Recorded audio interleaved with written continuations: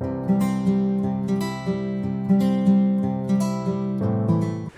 chào các bạn.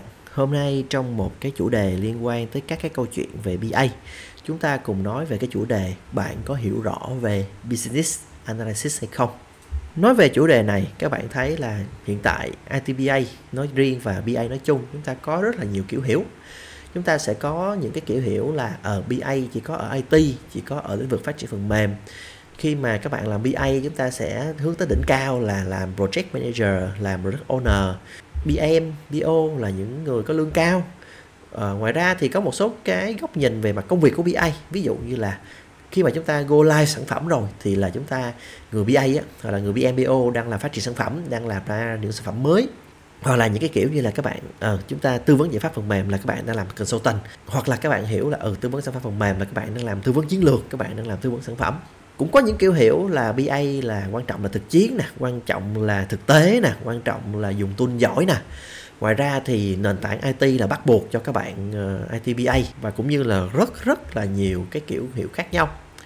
Thì những cái câu chuyện này thật ra trong một cái video clip này chúng, mình cũng không thể nào nói hết tất cả mọi thứ được. Tuy nhiên thì mình cũng chia sẻ những cái góc nhìn của mình liên quan tới việc là chúng ta hiểu BA như thế nào những cái góc nhìn này thật ra cũng không phải là do chính bản thân mình, mà là do từ việc mình được đào tạo bài bản, từ việc mình đi qua nhiều nơi, qua nhiều công ty, qua nhiều cái công việc khác nhau để mà mình đúc kết chắc lọc lại thế nào là BA và thế nào là ITBA để cho mọi người hiểu.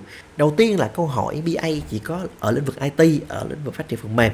Để trả lời câu hỏi này, các bạn sẽ thấy là BA chúng ta có một cái lịch sử rất là lâu đời trải qua cái dòng thời gian của lịch sử, chúng ta sẽ có những BA đầu tiên như là Khương Tử Nha, như là Gia Cát Lượng, như là Lưu Bá Ôn chẳng hạn. Thì đây là những người BA đầu tiên và họ có cần phải biết IT không? Không. Họ có cần phải ờ, biết Python, biết SQL không? Không.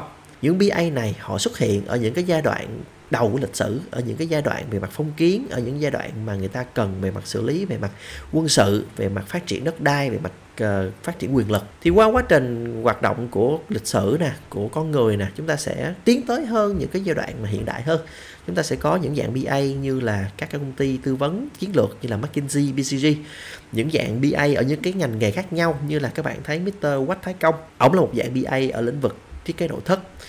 Các bạn sẽ thấy là Quách Thái Công làm xây dựng làm thiết kế nội thất thì sao là BA nếu như các bạn hiểu như vậy các bạn cứ quay về series trở thành ITBA. Mình đã nói rất là rõ định nghĩa về BA rồi. Tiếp theo chúng ta sẽ có các cái giai đoạn số hóa digital transformation chuyển đổi số và chúng ta sẽ có những dạng mà chúng ta có ITBA nè, chúng ta có hybrid BA nè, chúng ta sẽ có những dạng BA để mà xử lý về mặt sản phẩm số nè. Và trong tương lai có những dạng BA nào? Thực sự mình không có câu trả lời.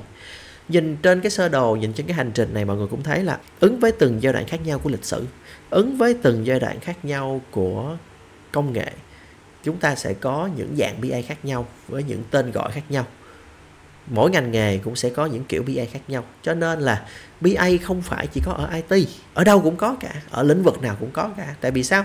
Tại vì ở đâu cũng sẽ có vấn đề, ở đâu cũng sẽ có cơ hội cả. Thì ở đâu có vấn đề, ở đâu có cơ hội thì ở đó sẽ là BA nhìn ở đây mọi người sẽ thấy là BA nó cũng không phải là một ngành nghề. Ở những cái nhóm ngành nghề khác nhau như là xây dựng, như là quân sự, như là ngân hàng, như là fintech, như là kinh tế, vân vân thì sẽ có những kiểu BA khác nhau và họ sẽ cần những cái kỹ năng khác nhau cho nên là BA nó cũng không phải là một ngành nghề.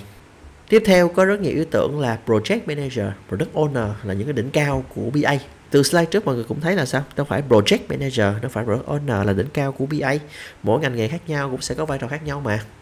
Nhưng mà chúng ta hãy nhìn câu chuyện như thế này. Quay về cái câu chuyện mà các bạn cần thấy gần gũi đi. Đó là digital product, sản phẩm số.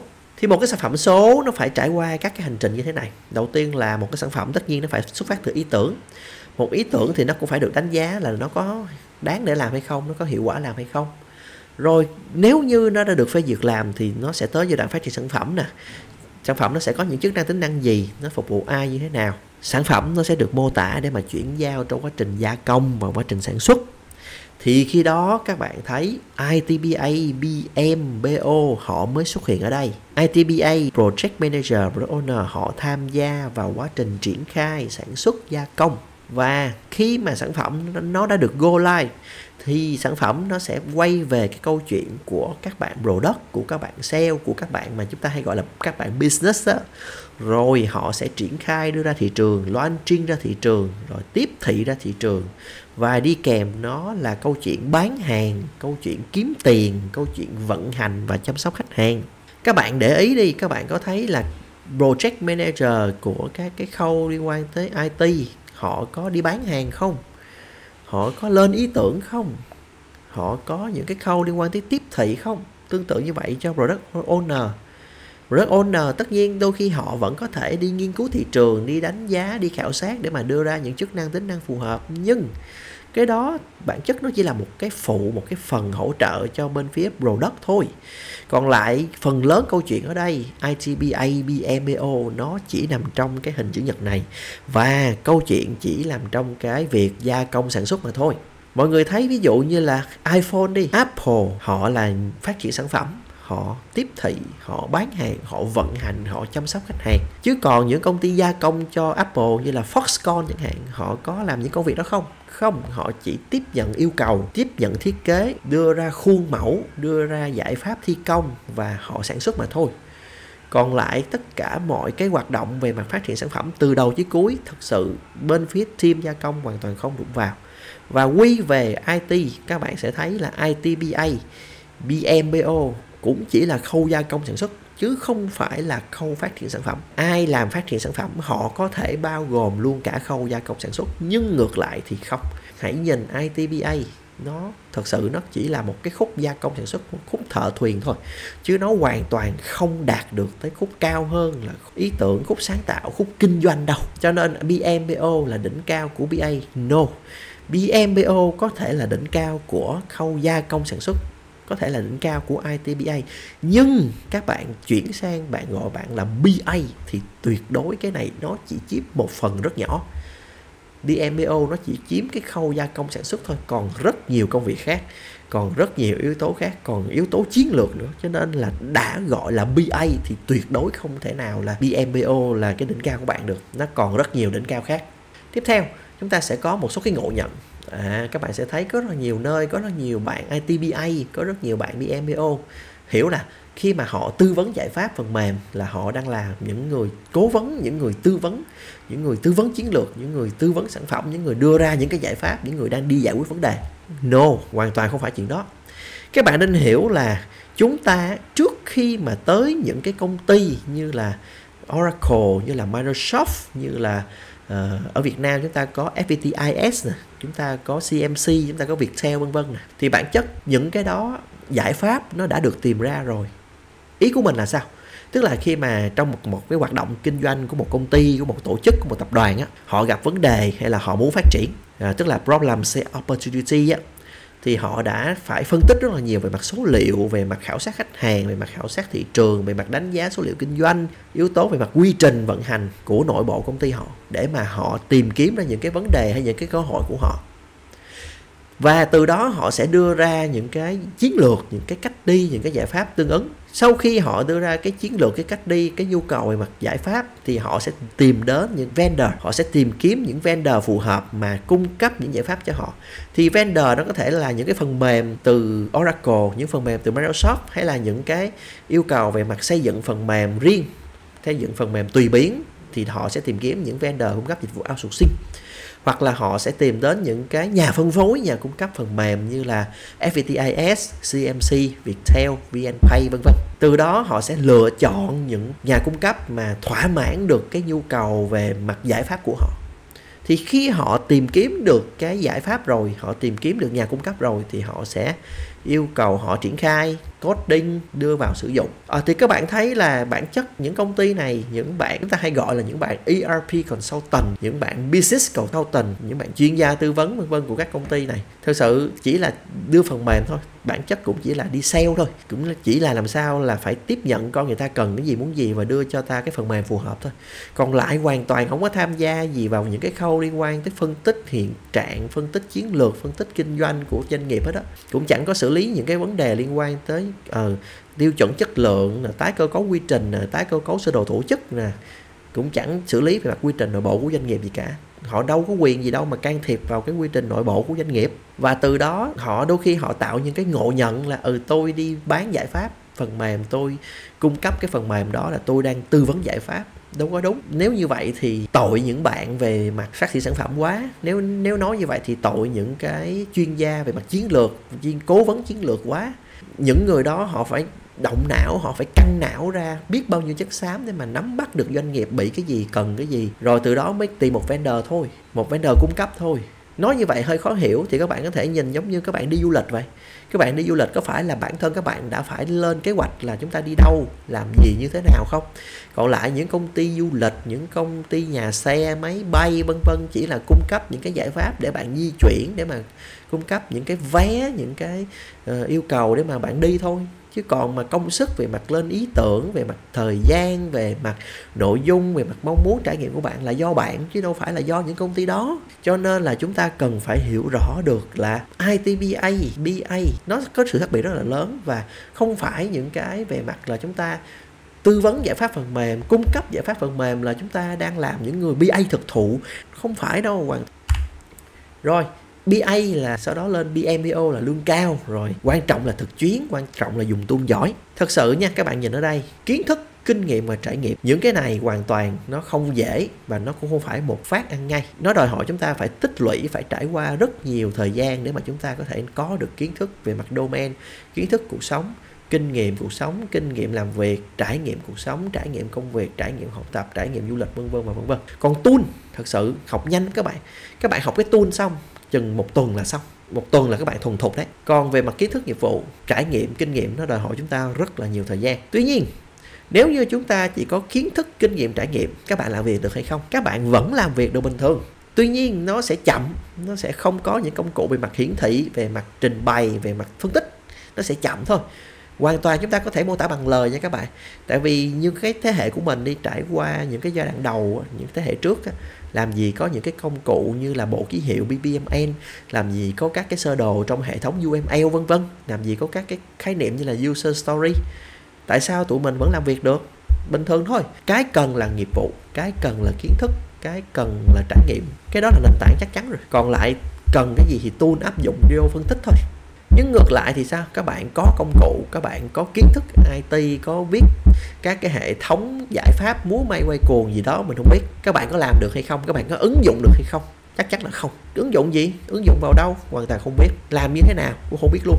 Phân tích như thế nào cũng không biết luôn, tại vì không có kiến thức, nghiệp vụ, không có domain, không có ờ, kinh nghiệm, trải nghiệm gì cả. À cho nên cái vấn đề đầu tiên là mọi người đừng có nghĩ là làm ITBA là lương cao. Làm BA khi mà bạn nó được gọi là một BA thực thụ, chắc chắn bạn lương cao. Tại vì cái cái trình độ của bạn cao lắm. Và cũng như là các bạn nên hiểu là bạn có rất nhiều kiến thức.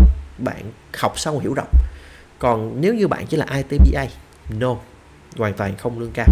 BMBO như mình nói cũng chỉ là gia công cũng chỉ là sản xuất cũng chỉ là triển khai dự án chứ không phải là làm cái gì hết. Cho nên là cũng không thể nào lương cao cũng không thể nào mà uh, lương giống giống như là không có giới hạn như là các khía cạnh BI khác được. Các bạn không có nền tảng về kiến thức các bạn không có nền tảng về phương pháp các bạn không có quy trình một cách chuẩn chỉnh thì sao? Thì các bạn có tool cỡ gì các bạn cũng phân tích tầm bậy tầm bạ các bạn cũng làm hư dự án của người ta.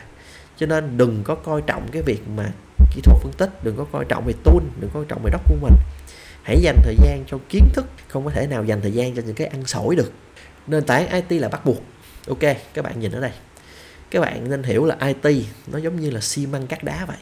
Trong ngành xây dựng, các bạn sẽ nghe những cái ví dụ như là bê tông dự ứng lực, ví dụ như là tấm xem bo ví dụ như là nhà lắp ráp, ví dụ như là các công nghệ bê tông nhẹ, bê tông tiên tiến, vân vân thì đó là những cái mà nó sẽ được hình thành bởi xi măng cắt đá thôi nó không chạy đi đâu cả. Và các bạn nhìn ITBA các bạn là những nhà uh, chuyên gia những nhà này kia. Không thực sự bạn chỉ là công nhân xây dựng thôi. Bạn chỉ là thợ thuyền thôi. À, đây là một cái thực trạng rất là hiểu lầm trên thị trường và rất nhiều nơi rất nhiều người biến chuyển BA thành một cái gì đó rất là kinh hồn nước nước thành một cái ngành nghề rất là dữ dội. Không phải đâu các bạn. Các cái công nghệ nó cũng được hình thành bởi các cái ngôn ngữ lập trình thôi. Các ngôn ngữ lập trình cũng chỉ là xi măng cắt đá thôi không có gì đặc biệt hết á nhìn BA như thế nào? BA là những kỹ sư, những kiến trúc sư để mà người ta đưa nên những cái giải pháp để mà chúng ta giải quyết những cái chuyện đó. Và cái cần của các bạn về mặt trau dồi đó là những cái công nghệ. Ở đây mình cụ thể hơn là công nghệ số, tại vì mỗi ngành nghề khác nhau, mỗi giai đoạn khác nhau của lịch sử sẽ có những công nghệ khác nhau. Thì chúng ta cần công nghệ số để mà chúng ta sao? Để mà chúng ta có thể xử lý những cái yếu tố liên quan tới vấn đề, cơ hội. Tại vì chúng ta cần là cần sự ứng dụng chứ không phải chúng ta cần là cần sự nguy hiểm, cần múa may quay cuồng. Tôi biết hệ thống này, tôi biết hệ thống kia, tôi làm dự án này, dự án kia, không phải là như vậy. Cần là cái giá trị của một người BA là đi giải quyết vấn đề cho người ta. Để giải quyết vấn đề, chúng ta cần phải hiểu là chúng ta, không phải là chúng ta cầm cờ lê tu vít, cầm máy tính, cầm này kia, cầm ờ, vẽ vời, diagram là các bạn tới người ta là các bạn có thể giải quyết vấn đề. Không phải. Chúng ta phải nắm rất là nhiều thứ, rất là nhiều nội dung để mà các bạn có thể giải quyết được vấn đề các bạn phải nắm rất là nhiều công nghệ, cách sử dụng công nghệ, cách xử lý này kia thì các bạn mới giải quyết được, chứ không phải là các bạn tới người ta mà cầm cờ lê tu vít khi đi xây nhà là các bạn xây được nhà cho người ta. Các bạn đâu thể nào cầm cái laptop, cầm cái con chuột tới là các bạn tự nhiên các bạn biết được là chúng ta cần phải giải quyết giải pháp gì, chúng ta cần đưa ra giải pháp gì hoàn toàn không biết được chuyện đó đâu. Nền tảng tất nhiên các bạn trang bị rất tốt và ai cũng phải trang bị, bản thân mình cũng phải trang bị thôi. Nhưng nó không phải là cái quyết định duy nhất như vậy BA trong digital chúng ta cần những kiến thức kỹ năng gì? Đầu tiên là kiến thức domain. Hồi nãy mình nói rồi các bạn không có kiến thức domain thì các bạn không thể nào biết được người ta muốn cái gì. Các bạn không có kiến thức domain các bạn cũng không nghe được người ta nói cái gì. À, cứ quanh quẩn cái câu chuyện là những cái hệ thống với những cái kiến trúc phức tạp. Rồi uh, các cái công nghệ như là MongoDB uh, Doc rồi à, SQL rồi các cái liên quan tới blockchain AI đủ kiểu cả. Chúng ta hay bị cuốn vào những câu chuyện đó. Không các bạn không có kiến thức domain, các bạn không có trải nghiệm thực tế ở cái domain, ở cái ngành nghề hoặc cả trải nghiệm thực tế về mặt cuộc sống hàng ngày nữa. Các bạn không giải quyết được vấn đề gì cho người ta hết đó. các bạn không hiểu được cái gì đó và kiến thức domain chúng ta học từ đâu? Đầu tiên là các bạn hãy tìm kiếm những cái giáo trình của đại học. Chúng ta sẽ có những cái kiến thức nền tảng. Rồi tiếp theo chúng ta cần trải nghiệm với cuộc sống. Thật ra các bạn nên hiểu là chúng ta trải nghiệm là để hiểu được cái domain, những cái yếu tố, những cái nghiệp vụ domain nó được áp dụng trong cuộc đời của chúng ta như thế nào. Tiếp theo các bạn cần phải cập nhật công nghệ số, digital technology. Cái này mình cũng đã nói rất là nhiều ở các video khác nhau. Chúng ta phải cập nhật những cái này ở đâu? Ở những cái hội thảo, ở những cái báo chí, ở những cái tọa đàm, những cái trao đổi, ở những cái video. Thứ ba là trải nghiệm. Trải nghiệm trong cuộc sống, hoạt động, đời sống hàng ngày để cho các bạn hiểu được cái vận hành của cuộc đời này, hiểu được cái vận hành của cuộc sống này, và cũng như là có cái góc nhìn đa dạng. Rồi những cái đó các bạn mới trang bị kiến thức IT ai cũng phải trang bị từ cơ bản là tư duy thuật toán, cách hoạt động của hệ thống rồi từ đó chúng ta mới đi tới những cái ngôn ngữ lập trình cần thiết cho công việc chứ không phải đi học theo trend như là học SQL hay là học HTML, CSS không để làm gì cả. Và cuối cùng phải nắm bắt những cái giải pháp phần mềm hệ thống để mà ứng với từng cái problems những cái opportunity của người ta. Mà các bạn cần phải áp dụng những cái giải pháp gì? Cái đó mới là các bạn cần chứ không phải học một cách lung tung không có một cái định hướng. Từ những đó các bạn phát triển sự nghiệp như thế nào nữa? Muốn trả lời câu hỏi là phát triển sự nghiệp như thế nào, chúng ta phải, thứ nhất, bạn sinh ra bạn có cái gì? Chúng ta hay có một cái tư duy là cha mẹ đặt đâu con ngồi đó chúng ta thấy một cái tư duy là chúng ta học theo phong trào. Tuy nhiên thì sinh ra bạn có cái gì? Sinh ra bạn có cái gì các bạn xác định như thế nào? Các bạn xác định bằng tử vi nè bạn bát tự nè, bằng thần số học nè. Các bạn đừng có coi những cái đó là mê tín, không phải. Những cái đó đều là khoa học thống kê. Ứng với những cái nguyên tắc, những cái data dữ liệu thì nó đưa ra những cái output như thế nào? Đó là khoa học thống kê. Cho nên công việc đầu tiên bạn phải coi coi bạn sinh ra bạn có cái gì thuận lợi về cái gì? Bạn không thuận lợi về cái gì? Bạn mạnh về cái gì? Bạn yếu về cái gì khi mà bạn mới sinh ra? Trong xuyên suốt cái quá trình sống của các bạn bạn học tập, bạn làm việc thì bạn đã trang bị cho các bạn những kiến thức, kinh nghiệm, trải nghiệm gì? Thứ ba là bạn có điểm mạnh, điểm yếu gì? Có rất nhiều bạn, bản thân bạn cũng không biết bạn có điểm mạnh, điểm yếu gì. Bạn cứ hùa theo phong trào, bạn cứ hùa theo người này người kia. Và bạn thích gì, muốn gì nữa. Không, đừng có đi theo người ta. Cuộc đời là do bạn quyết định. Bạn đừng có đi theo bất kỳ một cái sự chỉ dẫn của ai hết bạn trả lời được bốn câu hỏi này trước đi. Rồi bạn hãy nói tới là bạn thích BA hay không, bạn muốn theo hướng gì hướng gì hướng gì, vân vân. Bạn trả lời bốn câu hỏi này cho mình trước đi. Khi bạn trả lời được bốn câu hỏi này, bản chất bạn cũng đã biết được bạn cần gì, muốn gì rồi đó. Bạn có thật sự hợp với BA hay không? Bạn có muốn đi với BA hay không? Trên đời này có rất nhiều hướng đi, trên đời này có rất nhiều ngành nghề. Không nhất thiết là cái gì bạn cũng phải bay vào cái xu hướng ITBA và như mình nói ITBA nó cũng chỉ là kỹ năng, nó không phải là ngành nghề, thì bạn cũng phải lựa chọn cái ngành nghề phù hợp với bạn lựa chọn cái hướng đi cái công việc phù hợp với các bạn thông qua việc bạn trả lời bốn câu hỏi này. Chứ không phải là các bạn cứ đi theo là ngành đó có hot hay không ờ, công việc đó có ok hay không rồi ờ, BA có thực sự có tương lai hay không. Tương lai là do bạn quyết định tương lai là do bạn lựa chọn chứ không phải do người khác lựa chọn cho bạn. Sau bốn câu hỏi đó chúng ta sẽ cần phải hiểu rõ thị trường các cái tầng bậc các cái level các cái giai đoạn sự nghiệp như thế nào. Như hồi nãy các bạn thấy là chúng ta nói về ITBA, BMBO là cái đỉnh cao không?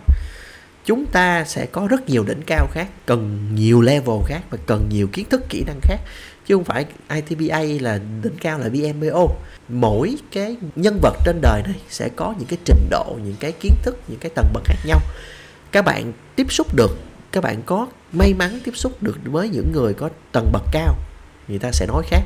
Các bạn tiếp xúc với những những người có tầng bậc thấp, người ta sẽ nói kiểu khác, dù là cùng một vấn đề à, cho nên là các bạn phải hiểu rõ được cái định nghĩa cái lý thuyết chuẩn đó. À, thì từ cái định nghĩa cái lý thuyết chuẩn thì các bạn mới nhìn những cái người ở các tầng bậc khác nhau người ta nói về một cái khái niệm chung đó thì sẽ có những cái khác nhau thì các bạn cũng có thể phân biệt được. Chứ còn mà các bạn cứ bị hồ theo những cái vấn đề ăn sỏi mì ăn liền vân vân các bạn không nhìn lại lý thuyết các bạn không nắm được lý thuyết thì các bạn cứ quanh quẩn cái câu chuyện là ừ, ừ sao người này ok người kia không ok vân vân rồi thứ hai là liệu cơm mà gấp nắm chọn con đường phù hợp ha. Chúng ta phải coi cái năng lực bản thân như thế nào chúng ta mạnh gì yếu gì chúng ta điều kiện gia đình điều kiện cuộc sống như thế nào chứ không phải là chúng ta cứ đứng núi này trong núi nọ. Năng lực của bạn cao hơn rất nhiều nhưng các bạn cứ tiếp xúc với những cái tầng bậc thấp rồi chúng ta cứ nhìn cái câu chuyện mà một cái thiển cận một cái giới hạn trong cái phạm vi hạn hẹp như vậy. À, chúng ta phải đi xa hơn cao hơn chứ ngoài ra thì cuối cùng là phi thương, thì bất phú. Mọi thứ trên đời này nó đều quay về cái câu chuyện kinh doanh cả. Cho dù các bạn làm ngành nghề gì, vị trí gì nó cũng quay về câu chuyện kinh doanh cả. Và câu chuyện kinh doanh hình thành nên cái tư duy kinh doanh luôn là cái mà các bạn cần phải tập trung. Luôn là cái mà các bạn cần phải định hình cái mindset của mình, chứ không phải là chúng ta cứ quay quẩn cái câu chuyện thợ thuyền như vậy. Học tập và trau dồi chúng ta nên hiểu là tự học luôn là chìa khóa thành công. Mình thấy rất là nhiều bạn luôn đòi hỏi người khác phục vụ bạn, luôn đòi hỏi bạn cầm tay chỉ việc, luôn đòi hỏi phải ờ, hướng dẫn bạn từng chút từng chút một. Ok, người ta có thể hướng dẫn, nhưng khi mà sao? Các bạn bị buông ra, người ta buông tay các bạn để cho các bạn tự chạy, tự bơi. Bạn bơi nổi không? Bạn hiểu rõ không? Coi như là những tình huống quen thuộc thì bạn làm được, còn những cái lạ bạn không tự suy nghĩ, bạn không tự tư duy được hay là khi mà người ta buông các bạn thì các bạn hoài, các bạn 5 năm 10 năm, các bạn cũng không phát triển sự nghiệp gì của các bạn cả. Các bạn học cũng phải học đúng cái khi, chứ phải học đại trà, học cái gì cũng muốn học. Học điều mình cần thì các bạn mới nhớ, học đúng cái khi, đúng cái phương pháp thì các bạn áp dụng rất nhiều việc.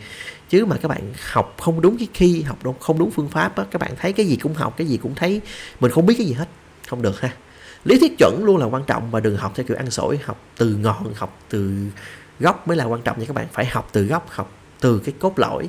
À, chúng ta rất coi thường lý thuyết chúng ta rất thích thực tế chúng ta rất thích thực chiến nhưng cái đó là cách sai lầm. Nếu như các bạn muốn phát triển sự nghiệp của các bạn rồi dùng từ ngữ khái niệm chuẩn cái này cũng nói rất nhiều lần rồi các bạn ở Việt Nam các bạn hay dùng từ ngữ một cách rất là lung tung. Và các bạn không dùng từ ngữ chuẩn sau này nó sẽ giảm đi cơ hội của các bạn. Các bạn muốn phát triển ra nước ngoài các bạn muốn làm việc remote các bạn muốn làm freelance. À, các bạn làm việc với khách hàng nước ngoài. Các bạn làm việc với khách hàng nước ngoài tiếng Anh là từ gốc của người ta cho nên người ta hiểu rất rõ về khái niệm và cái cách học của nước ngoài người ta cũng nắm rất vững về mặt khái niệm chứ không phải học kiểu Việt Nam đâu. Học kiểu Việt Nam mình thấy ai mà dạy lý thuyết chuẩn, ai đòi hỏi các bạn phải tự học, các bạn chê rất là nhiều. Các bạn cứ thích ai kiểu thực tế, kiểu dạy chỗ này, chỗ kia, bánh mung này kia. Thật sự đây là cái hình thành của cái giáo dục Việt Nam và đây là một trong những điểm yếu làm cho cái thế hệ trẻ của Việt Nam càng ngày càng yếu về mặt kỹ năng. Không có chịu học lý thuyết, không có chịu học nắm bắt về các cái khái niệm chuẩn cứ cứ thích ăn sổi, cứ thích học nhanh, cứ thích học thực tế, cứ thích học lặt vặt không à. à và cứ ai dạy lý thuyết chuẩn, ai dạy các bạn tư duy, trình tự, thứ tự lấp lan là các bạn chê ngay thứ khác không có được đâu các bạn. Các bạn muốn đi xa, các bạn không bao giờ mà các bạn có thể đi theo cái hướng đó được đâu.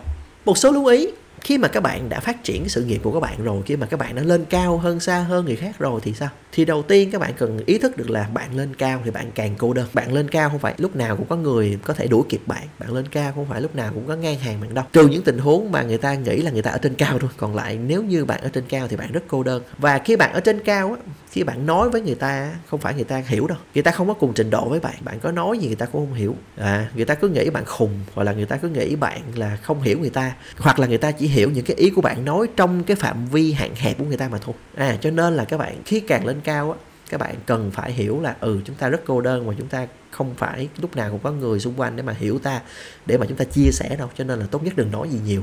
Có thể nói, chúng ta có thể truyền đạt với mọi người, nhưng mà các bạn cũng phải ý thức được là có thể không phải ai cũng hiểu. Có thể khi người ta không hiểu, người ta sẽ chê bạn, người ta sẽ nói bạn này kia. Nhưng hãy lạc quan là trên đời này cũng sẽ có rất nhiều người sẽ có thể người ta đi chậm, nhưng người ta cũng sẽ đạt được trình độ của bạn. Có thể người ta không hiểu, nhưng rồi người ta sẽ hiểu khi mà người ta đạt được những cái trình độ cao hơn và cái công việc lớn nhất của bạn là hãy luôn trau dồi chuyên môn mỗi ngày. Tại vì BA đòi hỏi chúng ta phải rất là uyên bác, phải rất là thấu hiểu cuộc đời, phải nắm bắt rất là nhiều kiến thức kỹ năng. Cho nên là cái công việc mà bạn cần phải tập trung đó là trau dồi chuyên môn mỗi ngày. Và cũng như từ những cái trau dồi chuyên môn đó thì hãy cố gắng chia sẻ, hãy cố gắng nói về những cái bạn hiểu được, nắm được cho tất cả mọi người xung quanh. Nó có hơi mâu thuẫn với cả ở trên, nhưng hôm nay bạn chia sẻ có thể mọi người hiểu ít 5 năm 10 năm sau những cái thông điệp đó có thể giúp cho rất là nhiều người thay đổi cuộc đời của người ta. Và từ đó các bạn có thể có rất là nhiều cái niềm vui, có rất là nhiều điều hạnh phúc khi mà chúng ta đã giúp ích được rất là nhiều người. Ok, qua cái video clip này, hy vọng mình có thể cho mọi người một cái bức tranh khác hoàn toàn những cái mà thị trường đang nói về ITBA nói riêng và BA nói chung hiện nay. Đúng ai cũng cần bắt đầu từ những cái level thấp. Bản thân mình cũng vậy, mình cũng phải bắt đầu từ ITBA BMO vậy. Nhưng khi mà mình đã đạt được những cái level cao hơn, mình mình đã thoát được cái hình chữ nhật hồi nãy mà mình có show cho các bạn á. Nhưng khi mà chúng ta thoát ra được những cái đó, thì các bạn sẽ nhìn BA theo một cái con mắt hoàn toàn khác. Các bạn sẽ nhìn BA một cái gì đó rất là chỉnh chu, rất là uyên bác, rất là đòi hỏi chúng ta càng ngày càng nhỏ bé. Cái tôi của chúng ta càng ngày càng nhỏ bé và thấy cuộc đời này có quá nhiều thứ, cuộc đời này có quá nhiều thứ phải học. Chúng ta rất nhỏ bé trong cuộc đời này. Chúng ta rất nhỏ bé. Cho nên là hãy cố gắng càng ngày càng trau dồi, càng học tập học tập kiến thức, học tập ngoại ngữ, tập từ cuộc sống, từ những người bình dân, bình dị nhất cho tới những người cao cấp chuyên gia. Chúng ta càng học, chúng ta càng làm BA thì cái tôi của chúng ta càng nhỏ bé hy vọng là qua video clip này có thể giúp cho mọi người có một cái career path tốt hơn và có những cái lộ trình học tập và làm việc nó giúp cho các bạn có thể đi xa, đi cao hơn. Hai lúa chúc các bạn thành công. Hai lúa chào các bạn.